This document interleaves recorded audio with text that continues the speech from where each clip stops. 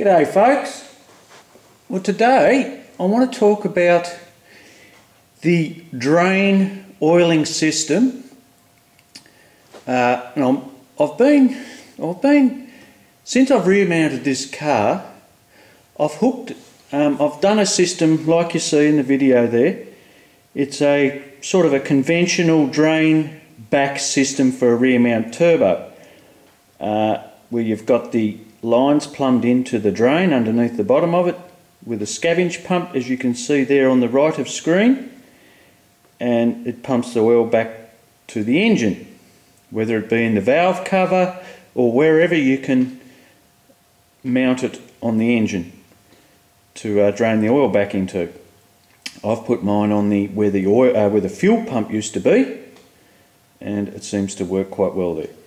Now the issues that I think pose a problem with rear mounting a turbo is the, well, it is the oiling system, the return. Now, this system I've got, it works, but I feel that I can really improve on this system. Look, there may be some others out there that have actually done it, and and I'm sure there are, but I've think I'm, I think I've just dis discovered. That's another word I like using. Discovered. I, I no, I seriously, I think I've come across the faults of a turbo. Uh, well, they're not faults, but the design of the turbo. You've got to be mindful of it. And one of the problems is with this system that I'm running, it's a closed system. Yes, it gets rid of the oil, but you, I think you have to understand as well, and I'm only figuring this out, that turbo drains need to breathe as well. They need to be at a atmospheric pressure, so basically no vacuum and no pressure inside the C, what do you call it? The CHRA, Center Housing Rotating Assembly. I think that's what they call it. It has to be neutralized because there are no seals, no rubber seals in a turbo. Uh, it relies, and I will show you a video. I've got a, my first turbo, I've actually pulled apart, and I'll show you this.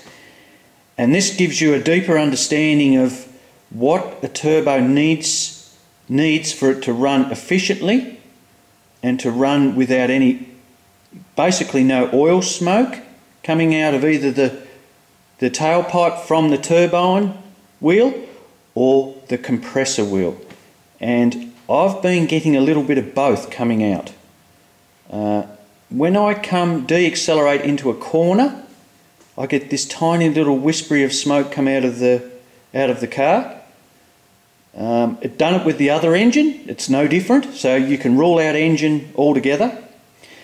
It has done it with on the compressor side, a tiny little bit in the drain pipe of this, uh, in the drain pipe, in the charge pipe of this turbo, and it's taken me a little while just to, to get an understanding of how a turbo needs to be installed in the sense of when you think about a front mount, it has a, a fairly fat pipe, I would be guessing three quarter inch uh, drain back to the sump.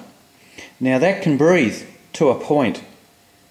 Uh, I've noticed, now here's another thing guys, I have noticed that on drag cars, on certain drag cars that are uh, down the other end of the track and they're under high revs, so basically maxing out their revs, and all of a sudden you'll see this bit of blue smoke come out of them on turbocharged cars I'm talking about and whether they're front mount or whatever, there's this bit of smoke. It's basically across the finish line, and it's starting to make me wonder is it pressure from the engine case under full boost and high revs? You get an actual pressurized system in the center of the turbo because of the engine, because of the drain back set up on them. And that's not allowing for it to breathe like it should. So you're getting that a little bit of oil start to bypass into the turbine. That's quite possible. So that's what I'm thinking. Um, this is actually happening because I've got a closed system. Under boost and pressure, you would be getting roughly, they say roughly, double the pressure on the turbine side than you would on the compressor side. Just a general rule of thumb. So there is pressure either side. Now, where does some of that pressure go? You don't have a rubber seal, so you don't have a perfect seal in your turbine side and your compressor side. You have an actual piston ring, and I'll get to that. I'll show you the turbo that I've pulled apart again. And so you're going to get some, uh, in a closed system like this, you're going to get a build up of pressure. It's just, it's just going to happen. So that pressure built up in the under hard acceleration is fine for that time, but as soon as you back off, where does that pressure go that's already in the system? And it's a split second. It hasn't got time to get rid of it. So when you, you're off the throttle, bang, it's going to reverse back in to the uh, exhaust side and hence maybe a little bit into the uh, compressor side as well. You've got to remember with hot oil, it's like water and this all happens within an instant. Every time you're on and off the gas, you're getting this tiny whispery smoke. I'm getting tiny little bit of build up of, of oil. And this happens over time. It's not a thing that won't happen, you know, one or two times. This has happened over a 12 month, two year period. You get this build up and constant little puffs of smoke coming out. So, this is what I'm discovering, guys. Uh, so, my next step, my plan of attack is to run a, a small reservoir style setup, and I'll get to that the details on that when I actually go to do it.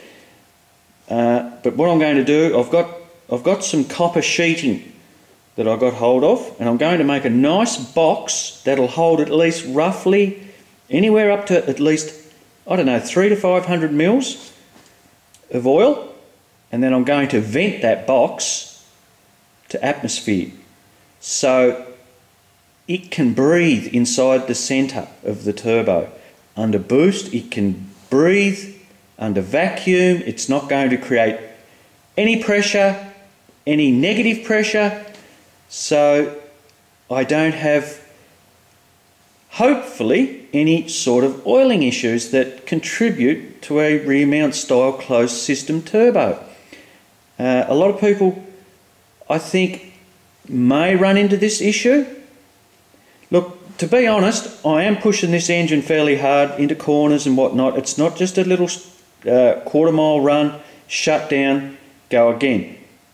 It's a bit different style of um, of racing that I do. It's it's on, it's off, it's on, it's off, lap after lap. So it, it tends to get a bit of a workout.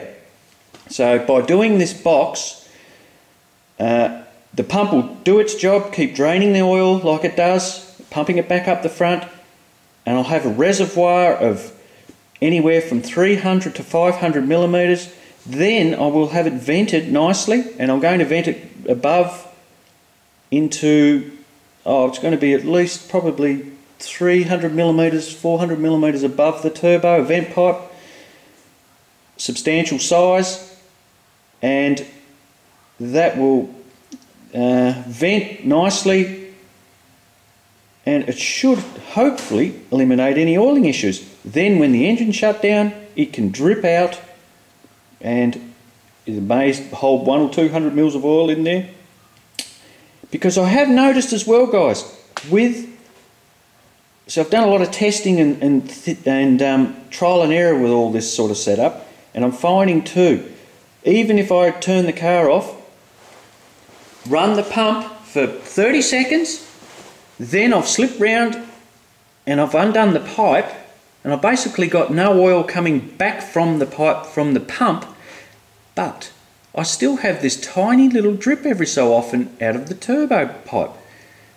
Um, and then I've left it off for a few days. Next thing you know, I've got 50, 80 mils of oil. Now what's happening is, I think, is the feed line runs up over the over the um, arch well of the under the diff or over the diff following the body. There's a certain amount of oil always in that, so when the oil's hot, it's like I said, it's it's like water and it just drips out over time. So that's why I think my turbo too isn't draining properly when it's sitting idle. It's filling back up again. So, like I said, if I do this little box, hopefully that'll allow for the oil to drain out of it completely so it keeps nice and dry. So on startup, it shouldn't be an issue again. And I think that'll solve all my little oiling issues that I've had with this setup. So yes, I'm very keen to, to get it underway and, and, and do that. So uh, I will post some vids and show you guys all the little details. All right, we'll go round and I'll show you the turbo itself. I've got a... This is my first turbo. It's a little tiny little thing I put on it. I, I did learn the hard way. Probably didn't do enough research on it. But it lasted for a little while and it did the job. But I want to show you what I mean about oil getting past the, uh, the seals. Now, hopefully you can see that. I'll bring it up here in the light. Uh, there you go. See that? It's like a piston ring. There's no rubber bushings or anything in there. That's it. See the other little, looks like a pulley, um, a little pulley uh, set up there. Well, that's, I think, is like, a is like an oil splash guard because on the inside of the turbo, uh, there's a bit that's sort of a rimmed around and that sort of helps stop the oil from working its way out. And then you've got that little ring there too to try and stop it. But under pressure, I can guarantee you, you will get oil coming back out through the turbine and the compressor wheel. So it's a little journal bearing.